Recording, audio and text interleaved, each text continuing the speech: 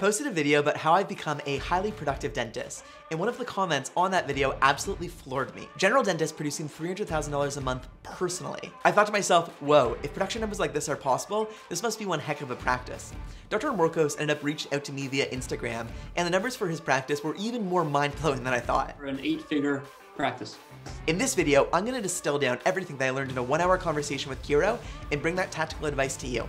If you wanna learn strategies to increase your productivity, have your office run more effectively using systems, and increase your case acceptance, all from a dentist currently working an eight-figure practice, you don't wanna miss this one. Hi friends, if you're new to the channel, I'm Joel, I'm a dentist, and I'm also an executive at bootcamp.com. I make videos to help you along your dental journey. So starting at the beginning of Kero's dental journey, he finished dental school in 2015, which is the same year that I graduated. I started doing like 70, 80 uh, a month, trying to expand my skills, just trying to get better and faster and be more efficient. Not too far along into this position, his wife, a medical doctor, accepts a residency in Houston. So they end up moving from Oklahoma to Texas. And then this opportunity came up in McKinney he receives an email from the company about this new position in McKinney. And although this was going to be his third move, he saw a lot of opportunity and he decided to jump on it. And this is the first lesson. Life you can't control and sometimes the wind will blow you one way or the other. But luck is when opportunity meets preparation. And Kero was prepared for this new role because of what he had done beforehand. His skill set and his personality set him up to seize this new opportunity. And the opportunity for Kero here was big. It's, it's a big, pretty big office. We have six 65 employees. So for reference, I have a very busy practice and there's 10 of us total. Me, two hygienists, two assistants, and four receptionists. Kero's practice has approximately six times the number of individuals that my practice does. And managing this number of people is a monstrous job. When you go from 10 people in an office to 20, it's not two times the amount of coordination, it's about 10 times. So I can only imagine the type of systems that they have to have in place to have an office of 65 different individuals function like a well-oiled machine. So when Kero took this job, he knew that eventually there'd be an opportunity for him to be a productive dentist. But he originally went there to learn because because the senior dentists in this practice were impressive. I went to interview there. I was like, man, I'll, I'll follow you around. I will polish your fillings. I don't care. I want to be here and just learn from you guys because the money will come. Like, who cares? But just getting these guys who are top of their game to, to teach me. And while I won't share the exact numbers for this practice, Kero shared these numbers with me privately, and I can vouch that this is a truly one-of-a-kind practice in terms of how it runs and what these doctors are producing. A bunch of people interviewed for that position. So I asked Kero how he set himself apart. Obviously, they wanted to look at metrics. You could at least do this amount, that you're good enough to do that. And then he said, we could train you dentistry no matter what. You can't train somebody personality and culture you know that drive. And you know it's the same at my practice. The dentist i am today is very different than the dentist i was when i first accepted the position that i'm in now. But the dentist that employed me saw that i was above a certain threshold of capability and knew that i was the type of person that was going to grow and evolve as a dentist and get better to be the type of high producing and effective dentist that i am today. And Kero identified that in this practice, they were going to help him to become successful. I got the vibe that they were legit interested in my success and that's why I went there. So Kero starts and he's learning and he's growing and his numbers are increasing and I asked him, how are the doctors, including you at this office, so productive? There's this myth out there that in order to be so productive, you must be rushing or skipping steps, but that's not the case. We try to treat our patients like our family. I asked Kero, what are the keys to being highly productive while still being a good dentist? And the foundation is clinical fundamentals. And he talked about how in order to become a more competent clinical dentist, he started off going slow in order to eventually go fast. In the beginning, you're just slowing down completely and trying to get everything perfect. What I did with wisdom teeth, for example, in the beginning, I would get a scalpel, maybe not cut all the way through, come back and cut again. So those little things made me a lot slower.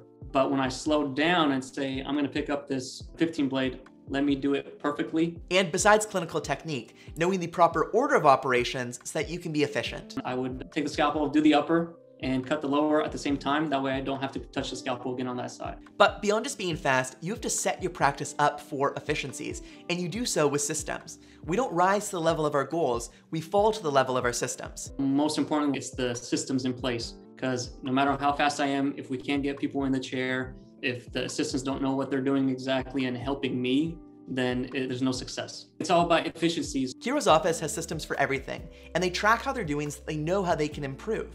You can only manage what you measure, and Kero's office tracks, for example, case acceptance so they can see how they're doing relative to how they did before, and if changes and improvements are actually impacting how they're educating patients. You can be as productive as you want, but if there's no patient in the chair, it doesn't matter. And Kero's the first to admit that he wasn't very effective at helping patients to understand and buy into a certain treatment at the beginning of his career. First year I saw my case acceptance was like 10, 15%, which is terrible. Maybe because my confidence wasn't there, my skill set wasn't there, and just confidence in myself. And case acceptance is hard. At my office, I largely do bread and butter dentistry, and it's a lot easier when something is very black and white. If you have a large cavity, you need to get it filled. If you have a bombed out tooth, it has to be removed. It's not really optional treatment like it is, for example, to just restore a tooth again versus putting a crown on it, or to leave a space versus doing a dental implant. With these more optional treatments, case presentation and case acceptance really does matter. And Kero says that he has gotten better at this with time. Now we're at last month was 42% case acceptance rate on like crowns and implants or whatever. I asked him for his secrets. He said partly it's about helping to make a dental condition and the proposed treatment options understandable. I try to focus on communication uh, with the patient in layman's terms what I'm trying to say. But it's not just him. Especially being as busy as he is, it takes a village, and he relies and leans on his team to help him in this process. It's not only me, it's my team as well. So they're very good at talking and explaining to the patients what I need to do because, like we're saying, if, if we're super busy, you have to rely on your team members to do the heavy lifting. And his office is really big on dental photography and helping patients to understand what's going on inside their mouths. When they have a photo up there, in high quality where they see a broken tooth and kind of in the arch, they could tell that's my left side, isn't it? Yeah, that's sharp. You know, I want to fix that. In just six short years, Kero has become a top percentile dental producer.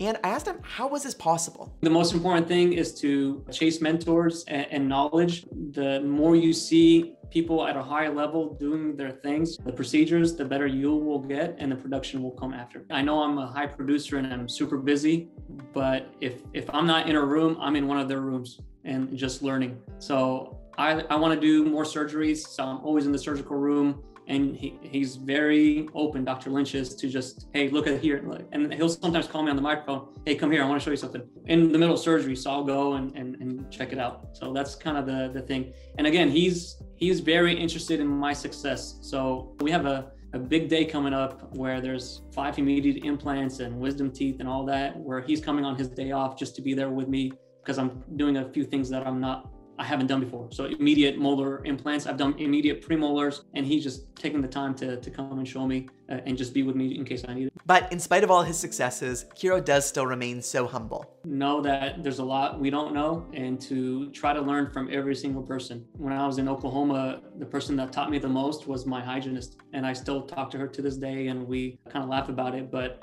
I try to learn from everybody I talk to, whether that's uh, an assistant, a hygienist, or what, you just learn. If you have a negative situation that happen or a you're in a bad position, try to learn something, try to see how you could grow from that try to do everything in your power to get better. I think some of the best ways to get better at dentistry and run a more effective practice is to listen to the advice of someone else who's already been there. And Kero was one of those people for me. And I actually have a ton of material from this conversation, which I didn't get into in this video, about managing an office, about leadership, retaining staff, and how to organize so many different people. So if you enjoyed this video, make sure you smash the subscribe button hit the notification bell so that you know when the future video with Kero comes out. If you enjoyed this video and you want to see how I tripled my earnings as a dentist, check out this video that I made here. Make sure you hit like, it does a lot to support me as a creator, and I'll see you in the next one.